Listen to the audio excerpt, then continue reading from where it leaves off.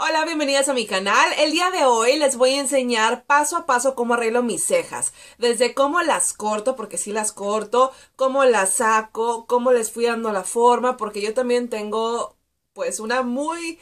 ¿Qué les diré? Una foto que me evidencia, les he subido varias veces al Facebook, a mi Instagram, de hecho tengo otro video donde les hablo de cejas, donde también incluye esa foto, voy a tratar de dejárselas para que sepan de qué hablo cuando me refiero a que mi ceja ha pasado por todos los tipos y formas hasta llegar a verme casi como polivos. Así es que la pregunta número uno, ¿cómo le hice para que mi ceja volviera a crecer? Porque mi ceja era súper, pero súper poblada y terminó como la acaban de ver. Bueno, pues simplemente con mucho esfuerzo, con mucha paciencia, durante años me estuve rellenando muchos huecos y poco a poco fue saliendo otra vez el vellito. Así es que si tú estás en esa etapa en la que estás volviendo a dejar crecer la ceja porque la sacaste mal o te la sacaron mal, no te desanimes, rellénate los huecos y verás que eventualmente empieza a salir el pelo. Ahora, una una, opción que sí funciona es el aceite de ricino que tengo por aquí. Este funciona súper bien. Yo escuchaba que las youtubers americanas decían castor oil y yo decía pues aceite de castor, pero luego ya supe que el aceite de castor como tal no existe. Es el aceite de ricino a lo que ellas se refieren. Este yo me lo aplico por las noches con el dedo o con algún cepillito de algún rímel viejo que ya no use y ya no tenga rímel, eh, le pongo un poquito de aceite de ricino, lo paso por mis cejas y también por mis pestañas porque ayuda al crecimiento y sí crecen, sí se nota. Realmente yo soy bien, eh, pues bien dedicada. Cuando estoy probando algo, le, soy muy constante, esa es la palabra. Si estoy poniendo a prueba un desmaquillante, lo uso durante 21 días a ver qué tal me funcionó, si no me sacaron granitos, etc. Lo mismo hice con el aceite de ricino. Durante 21 días o un mes lo estuve usando todas las noches sin que se me olvidara nunca y sí noté mucho la diferencia. Mis pestañas no se veían así como que, wow, súper largas, te la bañaste, pero empecé a notar que se me veían casi todas del mismo tamaño y yo creo que es porque se me dejaron de caer. Normalmente las pestañas se ven casi todas súper largas y unas más chiquitas que son como las nuevas que están saliendo. Entonces yo creo que se dejaron de caer y eso hacía que las pestañas se me vieran mucho más abundantes y es un súper buen tip porque esto fomenta el crecimiento del vello. Entonces aplicar en la ceja en ciertas zonas donde quieres que vuelva a crecer pues es muy pero muy buena opción. Bueno, pues de esa forma las dejé crecer nuevamente, pasaron años hasta que mi ceja ya se veía otra vez súper poblada. Ahora, ¿cómo la delineo yo? Hay eh, técnicas y hemos escuchado que con un lápiz te mides y que esto y que el otro, pero cometemos un error que ya les había comentado en otro video. Nos dicen que pongamos un lápiz o en este caso un pincel a un costado de la nariz y te bases en eso. Si yo me baso en eso, toda esta parte de mi ceja me sobra. Eso haría que mi ceja pues empezara mucho más afuera y la consecuencia sería que inmediatamente la nariz se me vería más ancha porque no se pone el pincel o el lápiz a un lado de las fosas, sino a un lado del puente de la nariz.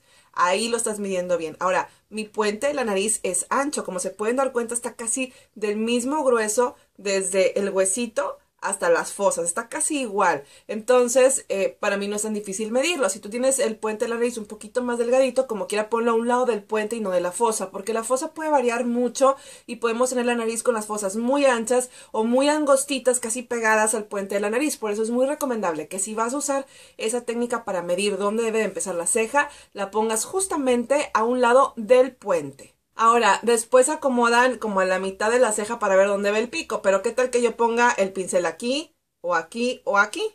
Bueno, lo que vamos a hacer es que al poner un lado de la fosa debe de pasar exactamente por el centro de tu pupila si estás viendo hacia el frente. Así de fácil. Viendo hacia el frente, pongo el pincel en mis fosas, ahora sí, a la mitad del ojo que sería ahí, y ahí debe de ir mi pico.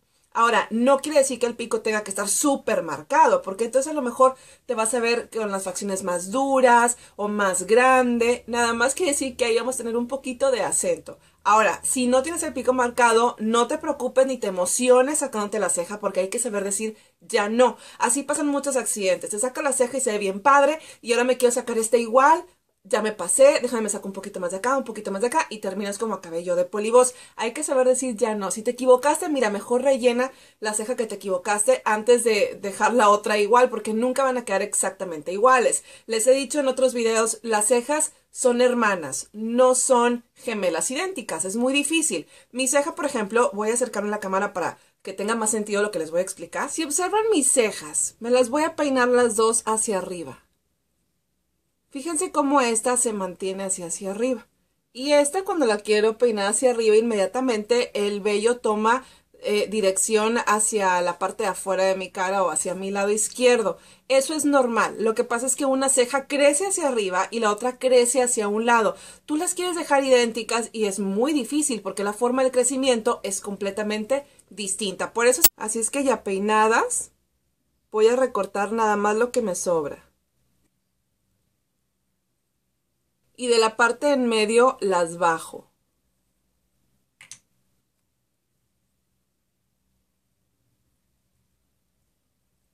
Ya ahí la ceja se ve muy diferente esta de la otra que no he recortado. Así es que de una vez la voy a cortar antes de empezar. Ahora sí me voy a sacar nada más lo que me sobra. No me voy a acercar para nada a la línea, digamos, de donde empieza ya mi ceja con forma. Me voy a mantener lo más lejos posible.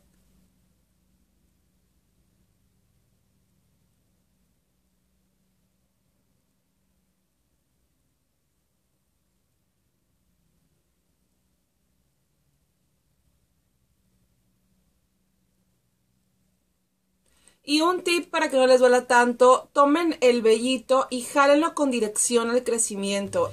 Ya hice limpieza de la ceja en toda esta parte sin acercarme tanto a donde esté el delineado porque es bien fácil echarla a perder cuando te estás viendo en un espejo muy cerquita. Ahora ya me veo de lejos, veo que está el delineado súper bien. Claro que tienen diferencias como les menciono que son normales, pero si hay unos pequeñitos que quiero quitar, por ejemplo, no sé si la cámara los vaya a alcanzar a apreciar. Este de aquí siento que está descuadrando por aquí. Así es que los voy a eliminar. Y antes de continuar me vuelvo a hacer para atrás para ver que no lo haya regado. Y de este lado nada más siento que por aquí hay un vellito desobediente. Y este de acá. Este es el hueco que más me choca. Y claro que por aquí la tengo ralita, pero antes digan que me creció porque la tenía de polibos. Ahora, ¿cómo arreglo mis cejas para todos los días y cómo arreglo mi ceja cuando voy a salir y voy a llevar un maquillaje mucho más elaborado? Bueno, les voy a enseñar en una ceja cómo lo hago de una forma y en la otra pues del otro. Para el diario hay dos que me gustan mucho, de uno prefiero el cepillo y del otro prefiero la fórmula. Y les estoy hablando, el que prefiero en la fórmula es el Brow Drama de Maybelline, es el que más me gusta, la fórmula dura muchísimo. Y del que me gusta más el cepillo es este de NYX. Lo que pasa es que el de Maybelline tiene como que una bola que la verdad para mí no hay tanto problema porque tengo la ceja bien poblada, pero para las que tienen la ceja bien delgadita sí es un problema esa bola. Creo que no es para todo el mundo el tipo de cepillo. Y el cepillo de este, del de NYX, es como un rímel súper, súper chiquito. Son los dos que les puedo recomendar que a mí me gustan. Pero bueno, la forma en la que los uso es la siguiente. Para usar el de Maybelline me gusta tomar con una brochita angular como esta el producto que se queda en la punta y entonces le empiezo a delinear. Si se fijan, sí deposita color. Y de esta forma estoy pintando la piel y no tanto el vello. Porque volvemos a lo mismo. No todas las chicas tienen la ceja tan poblada y a veces necesitan pintar la piel. Si quieres pintar la piel, para mí este es súper bueno para el uso de todos los días. Solamente pinté el pico. Y ahora voy a pintar aquí abajo. Delineé aquí y delineé acá. Lo que me sobró en el pincel lo voy a llevar para la colita. Y en lugar de aplicar más producto, lo que voy a hacer es difuminarlo. Si se fijan, queda bien delineada, pero no se ve exagerada como las cejas de Instagram, que a veces es como demasiado para mi gusto. Se ve muy bien delineada, es contra agua, bueno, no dice que sea contra agua, pero yo sí lo he probado en clima muy húmedo y alberca y así. Y mientras no te arrastres el maquillaje, no se mueve. Al final, ya que está bien pintada, ahora sí con la bolita, cepillo el vellito de la ceja para que me ayude a fijarlo, porque todo el producto que puse previamente fue para pintar la piel. La siguiente forma que les voy a enseñar es la que uso cuando voy a una boda o a una cena en la que voy súper arreglada, que quiero que la ceja se me vea, pero súper impecable. Es el Color Tattoo de Maybelline. El tono que yo uso es el Tough as Taupe peino bien la ceja, como producto con mi pincel. Esto lo pongo volteando hacia abajo, por eso me ha durado tanto tiempo sin que se seque, porque siempre lo dejo boca abajo. Y voy a hacer exactamente lo mismo.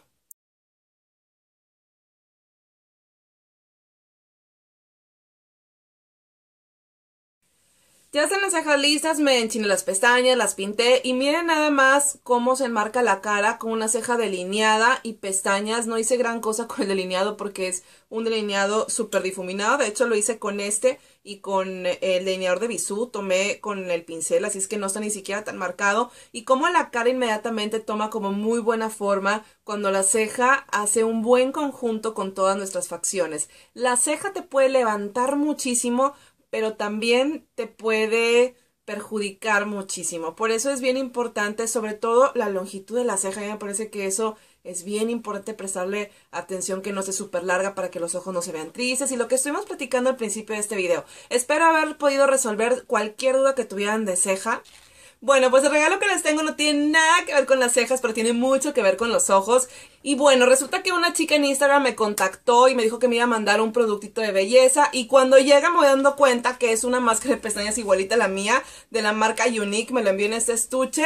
Y la verdad es que es un producto tan bueno que me parece que es un crimen conservarlo si yo ya tengo otro. Entonces pensé que a lo mejor a una de ustedes le encantaría un día abrir la puerta de su casa y que sea un mensajero que traiga gratis como regalo una máscara de Unique. Así es que muchas gracias a esta chica que se llama Lucy Buenrostro. No la conservo Lucy porque yo ya la tengo y creo que esto le puede servir a alguien mucho más. Pero me encantaría que el Instagram de Lucy creciera porque su negocio está en Instagram. Así es que para participar tienes que seguirme a mí en Instagram porque ahí voy a poner una foto de este regalo en la que pues yo quiero que pongas tu nombre y en, de dónde eres, de dónde me ves. Y después ahí mismo en ese Instagram voy a dejar etiquetado el Instagram de Lucy y estaría bien padre que me ayudaras a ayudar darle a ella a que crezca más su Instagram yendo y dándole like también. Y de esa manera ya estás participando. Con like en el Instagram de Lucy y poniendo tu nombre y de dónde me ves y por supuesto seguirme a mí en Instagram también. No se me agüiten las que no tienen Instagram. Yo hago rifas y sorteos en las diferentes redes sociales. Aquí en Monterrey en Facebook he regalado boletos de cine que me mandó L'Oreal, que por cierto me van a mandar más. Y no pasa nada, o sea, unas veces no puedes participar en una red y participas en otra y no pasa nada si no tienes Instagram. Ahora, si quieres bajar la aplicación y participar, pues qué padre.